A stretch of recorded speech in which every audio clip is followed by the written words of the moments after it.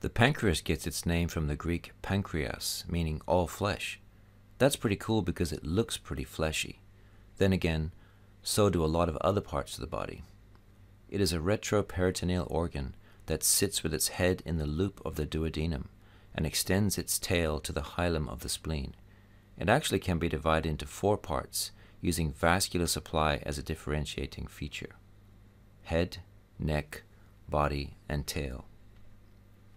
The main pancreatic duct, the duct of Wirsung, usually drains into the duodenum and the papilla of Vater. The accessory pancreatic duct, the duct of Santorini, usually drains into the duodenum through a separate little papilla about 2 centimeters proximal to the papilla of Vater.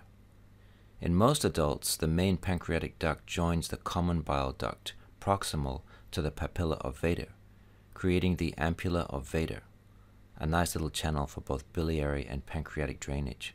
All this can vary significantly from person to person. The pancreas has both an exocrine component, which makes digestive enzymes and comprises about 85% of the organ, and an endocrine component, which makes things like insulin, glucagon, and somatostatin. To read more, see Robbins 9e, page 883.